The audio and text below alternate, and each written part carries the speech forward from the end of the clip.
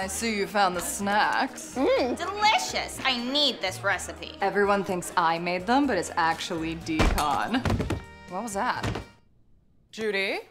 d-CON. Mice love it. To death.